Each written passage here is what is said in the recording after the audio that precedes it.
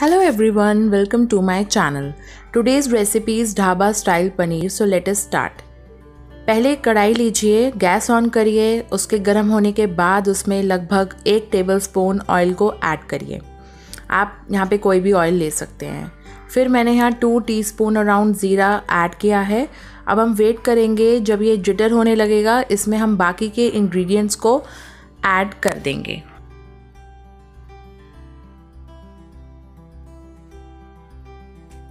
जब आपका ज़ीरा जिटर होने लग जाए तो आपको इसके अंदर साबुत धनिया ऐड करना है। ये भी अराउंड टू टीस्पून है। और इसके बाद जो है हम अपने अनियंस को ऐड करेंगे। अगर बड़े अनियंस हैं तो you can take like two और अगर छोटे हैं तो आप तीन भी ले सकते हैं। ये फाइनली चॉप नहीं है थोड़े मीडियम चॉप्ड हैं रफली चॉप्ड हैं। और इसको ऐड करने के बाद हमने इसको थोड़ा सा गोल्डन ब्राउन करना है। और फिर उसके बाद मैं इसमें अपने टमेटोज़ को ऐड करूँगी। इसको आप थोड़ा मतलब सॉटे कर लीजिए और वेट करिए इसके गोल्डन ब्राउन होने तक।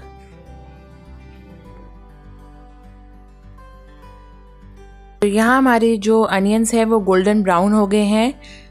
अब हम इसमें ऐड करने हैं चार से पाँच साबुत मिर्ची। अगर आपके पास वो नहीं है तो आप रेड चिली फ्लेक्स का भी इस्तेमाल कर सकते हैं, जो कि, जो घर की पीसी हुई होती है।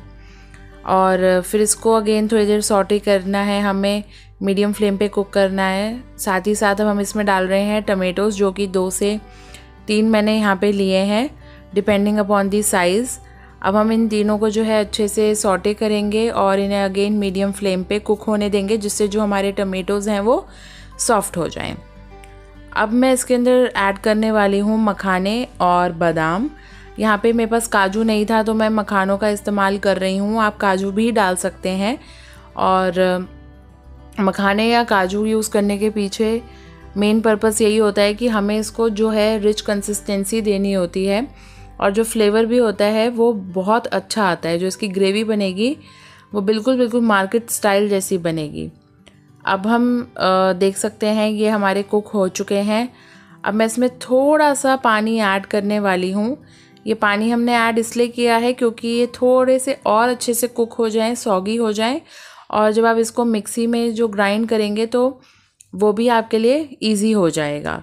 तो एक हमें फ़ाइन पेस्ट बनाना है अपनी जो ग्रेवी हम बना रहे हैं सब्ज़ी की उसके लिए।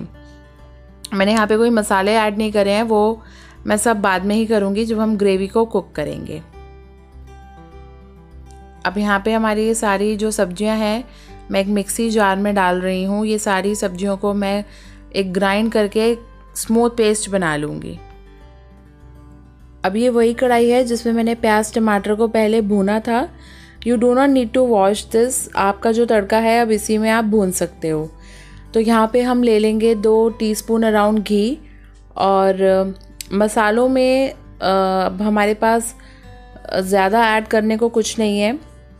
आप हल्दी और धनिया पाउडर डाल सकते हो थोड़ा सा बिकॉज़ मिर्ची हम ऑलरेडी उसमें भून चुके हैं तो there is no need to add chili flakes separately but yes you can use degi mirch for color instead, but I don't have it today, so I am skipping that.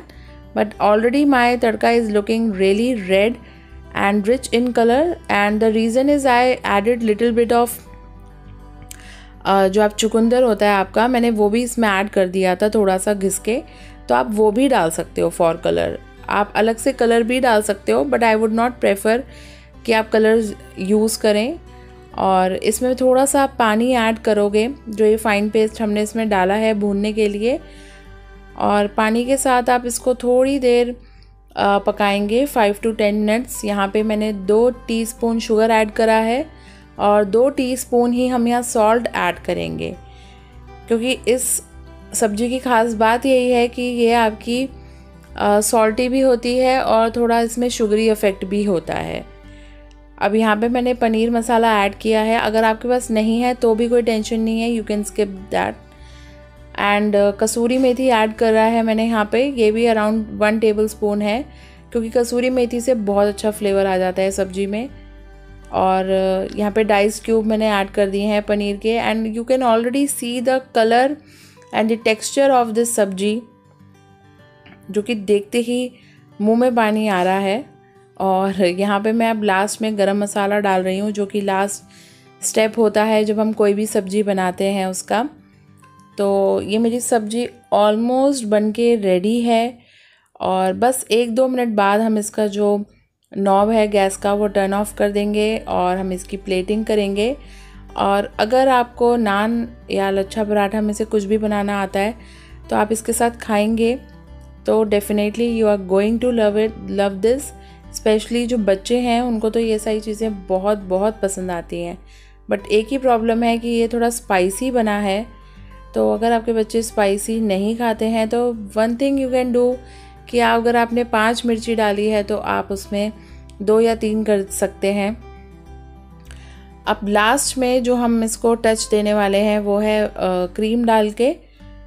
ये cream से ही इसका जो texture है वो और rich हो जाएगा test भी अच्छा हो जाएगा। And finally we are going to add the dhaniya patti that is mandatory and if you liked this video then please give a big thumbs up and subscribe to my channel and share this video